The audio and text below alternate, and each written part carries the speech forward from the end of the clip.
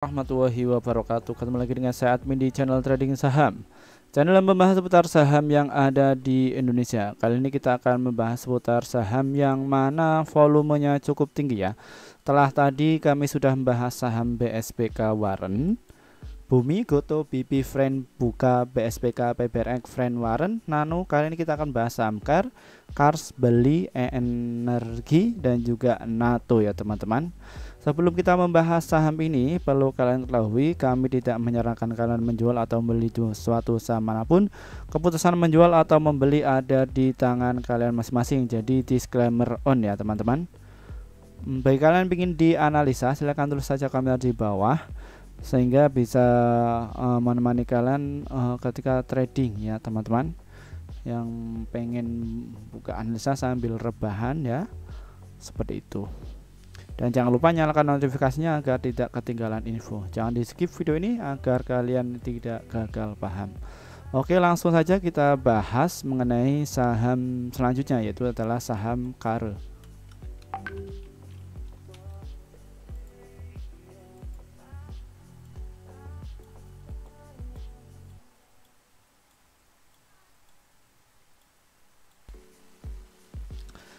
Oke untuk saham Cars ini uh, kalau kita lihat dari trennya Cars ini masih uptrend ya.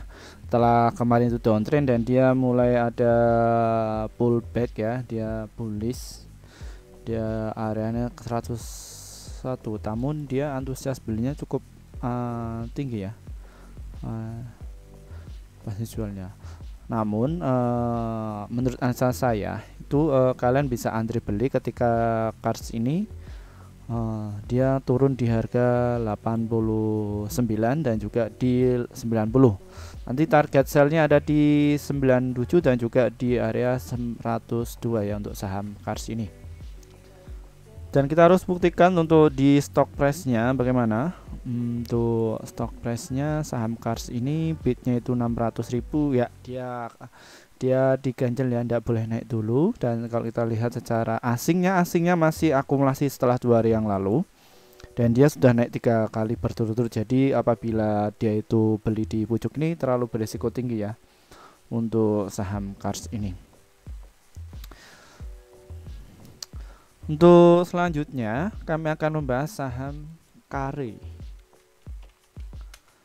Bagaimana untuk saham kare ini? Kalau kita lihat secara trennya, saham kare ini dia volumenya cukup rame ya, namun dia set twist ya di area 434 dan juga di area 529. Untuk target belinya saham kare ini menarik apabila dia itu menyentuh di harga 470 ya. Di supportnya itu ada di 470 ya dan nanti target sellnya ada di 480-an ya seperti itu. Kita harus cek juga untuk stock price nya untuk saham car ini. Di sini kalau saham car ini bidnya itu 59.000 dan overnya 70.000 dan secara daily dia baru saja naik sedikit ya.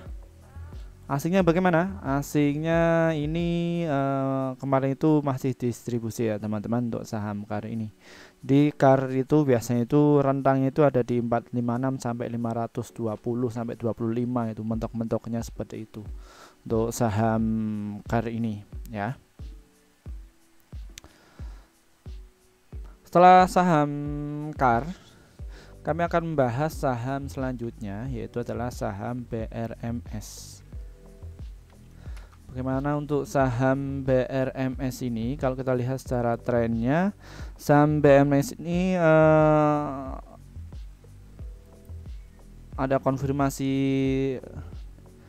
uptrend ya. Di sini kalau kita lihat yaitu targetnya itu mau ke atas. Ya, di harga 208-an lah namun dia di sini ada gapnya di 188 makanya itu dia dibawa turun. Namun dia turunnya itu langsung ke atas ya. Telah menyentuh di ini dia take profit dan dia dibawa turun lagi ya. Seperti itu untuk saham PRMS Uh, saham BRMS ini menarik apabila dia itu menyentuh di harga 182 dan juga di 183.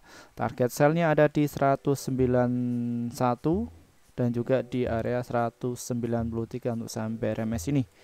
Kita harus cek juga untuk di stock price-nya, bidnya ini 1 juta dan overnya itu uh, 1 juta 900. Dan kalau lihat dari asingnya, asing ini sudah akumulasi dua hari berturut-turut ya dan secara daily dia sudah naik tiga hari ya jadi waktunya untuk turunnya biasanya seperti itu untuk saham BRMS setelah saham BRMS kami akan membahas saham selanjutnya yaitu adalah saham energi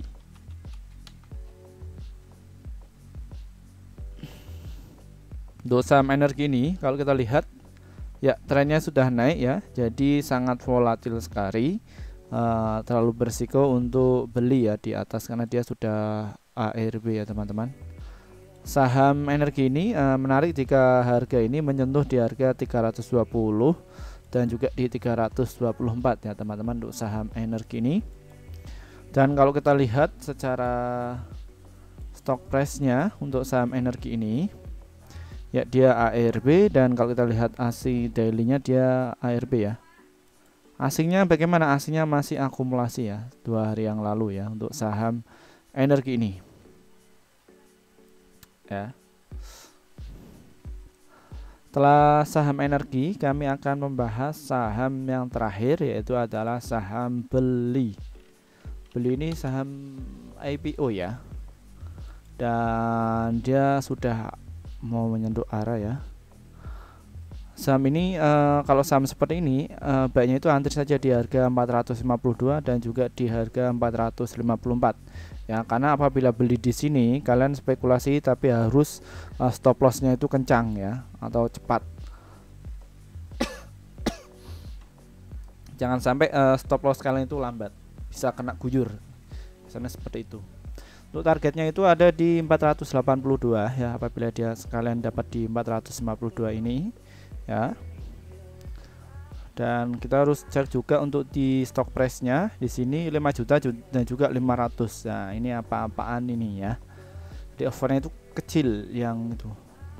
Apabila ini mau makan di sini cukup mudah sekali apabila dia diarahkan ya. Dan kalau kita lihat uh, saham ini sudah naik ya empat hari berturut-turut ya. Dan kemarin sempat turun ya koreksi untuk saham beli ini dan saham beli ini tadi itu dibuka di harga 452 dan low-nya itu ada di 452 adapun high-nya itu ada di 488 Adapun frekuensinya mencapai 12.678 dan volume transaksi volumenya mencapai 3.107 dan nilai transaksinya mencapai 145 juta transaksi. Ya, asingnya bagaimana? Asingnya kemarin itu masih akumulasi ya, teman-teman. Untuk saham beli ini, ya. Baik, mungkin itu saja yang bisa saya sampaikan ya. Kami akan membahas saham selanjutnya ya. Terima kasih dari saya kurang lebihnya saya mohon maaf yang sebesar-besarnya dari saya. Wassalamualaikum warahmatullahi wabarakatuh.